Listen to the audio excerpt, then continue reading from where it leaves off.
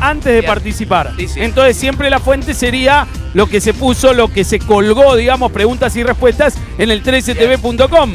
Decime, Sí. ¿cómo se llama el arte de hacer objetos con oro, plata u otros metales preciosos? ¿Alfarería u orfebrería? Te lo agradecemos a Payarol, ¿no? Que todos Sí. sabemos por eso. Sí. Orfebre, orfebrería. Correcto, sí, al, li- al linaje, Payarol, ¿eh? Al linaje. Escúchame, ¿estás en pareja, Moranza? Por supuesto, casado hace muchos años con, con Roque, la conocí gracias a nuestra maravillosa profesión. Guido, fui a hacer una nota un día.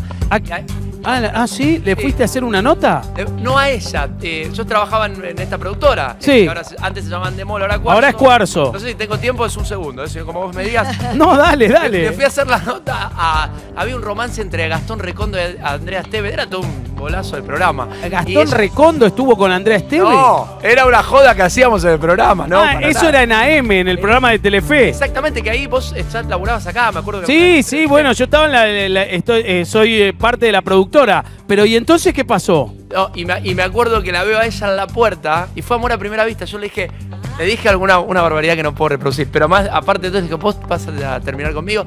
10 años y un hijo en común de casi cuatro maravillosos. Mirá vos, qué linda historia, ¿no? Eh, eh, es increíble, ¿eh? Como las, mirá como Sheila mira eh, eh, embelesada. ¿Y vos, Sheila, estás en pareja? Fantástico. Sí, yo también estoy en pareja. Me he casado con un porteño hace siete meses y bueno, pues aquí ¿Y, estoy. y se conocieron cómo?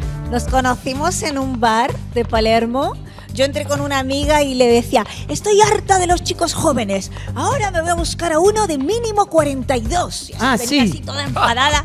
Y entramos en un bar ya súper tarde y había un chico muy lindo en la barra del bar. Sí. Y hola, y me puedo hablar con él y así como rápido le digo, ¿tú cuántos años tienes? Me dice 42. Ah, bien. Me doy vuelta y le digo a mi amiga, tía, este es.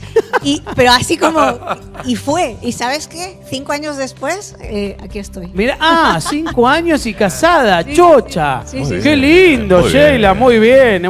Bárbaro. al locutor le encanta.